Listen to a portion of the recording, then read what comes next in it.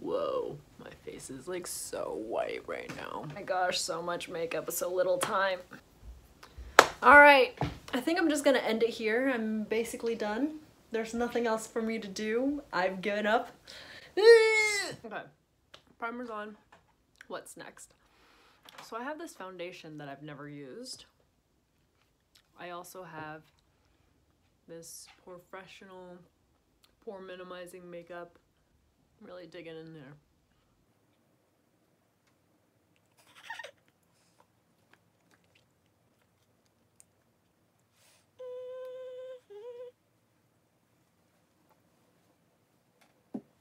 It was really interesting. Whenever I do my makeup for actual things, I always think like it's so obvious that I'm wearing makeup because it looks really cakey.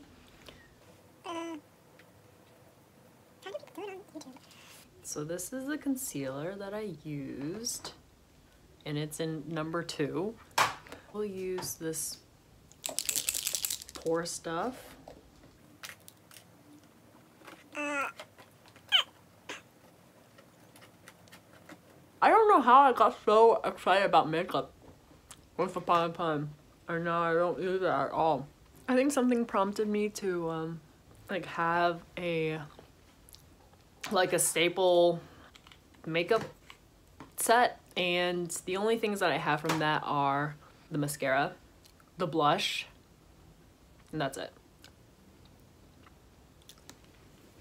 Soft blur. I want to use this brush because that's what I've seen people do online, but I also know that I'm going to be using this brush for contouring or blush, so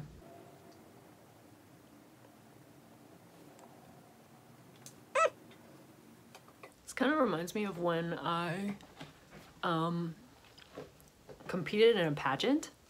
There was a lot of makeup that was involved at that time.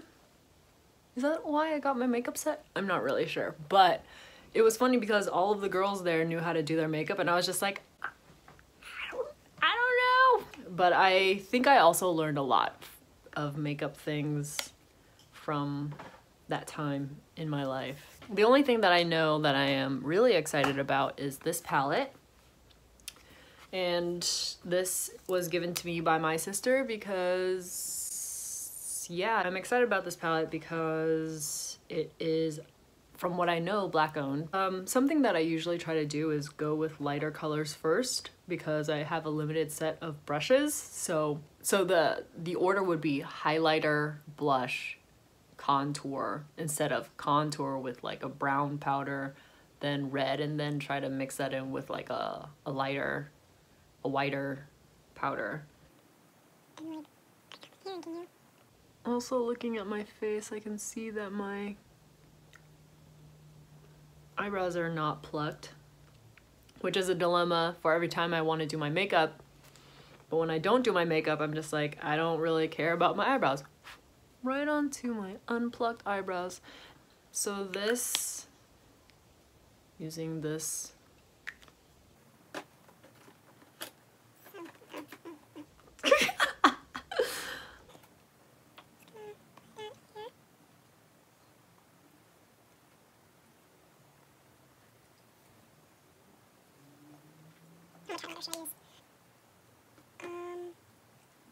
The one tip that I got was to put a lot of highlighter on the tip of your nose. My brows, I have two of these Gimme Brows and I probably should have given one to my friend. And I think for me, it's really nice because I think I have really nice brows. Like I actually have hair on my eyebrows, which is also probably another reason why I don't pluck them because I'm afraid. My mom's told me that if I pluck my eyebrows, they're gonna stop growing. So in addition to this Gimme Brow, I also have these Ready Set Brow gels and something that I've wanted to do is like to make my brows uh, for them to stand up on their own but my brow like the hair that grows is not gonna do that so it's like come on like wiping the highlighter off Helgel Helgel hair gel for your eyebrow hairs. Ooh, that's a lot of gel. That's good. I referred to.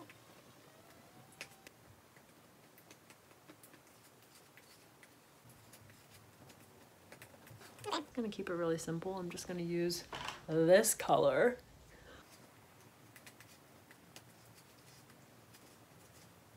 guess now I understand what blending, how important. Um, blending of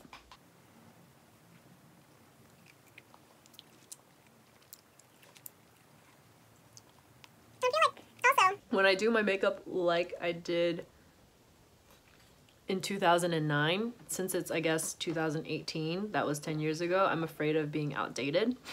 I remember when the red I was coming first coming in and of course I didn't like it because it also reminded me of like just seemed really costumey like geishas but of course now I can't really resist because everybody's doing it and I've been brainwashed. I guess I'm just gonna use this one because it's California and it's also a blush of some kind. I think it's supposed to smell good, which it does. That does not smell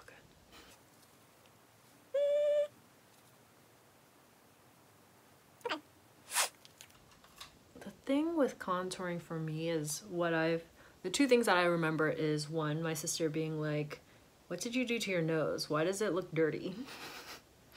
so I think that's what I try to aim for whenever I ah! do shit is not to make my nose look dirty. So I'm basically wiping my eyebrow stuff onto my nose. Hopefully that's not bad. And then also this, this one other girl, I could tell that she had contoured her nose, like how I'm doing it right now. And I did not like think that that looked good. And that is also something that I try to stay away from. Also, I think I've kind of broken my nose before, so so it's like not a line. I, I think it would be great if I could figure out a way to make my nose look straight again. I don't know if it's possible, but that would be nice. I'm trying to contour my cheeks. And I think I also have nice cheekbones. So many colors to choose from. Which color would would I contour with? Let's try this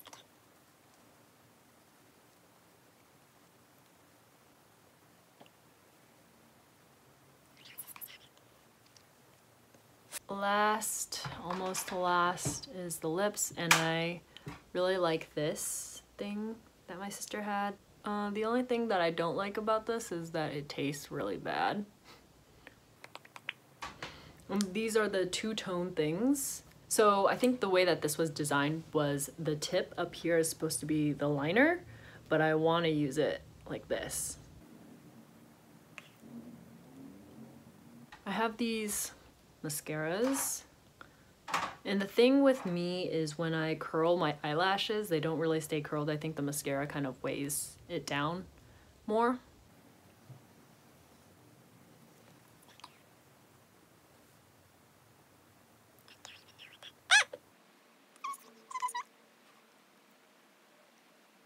This is it. This is all. How do I feel about this? Would I do this for work? No. I, I guess it would be nice if I could put in a little bit of more work, but I feel like the work that I do is just showing up to the place.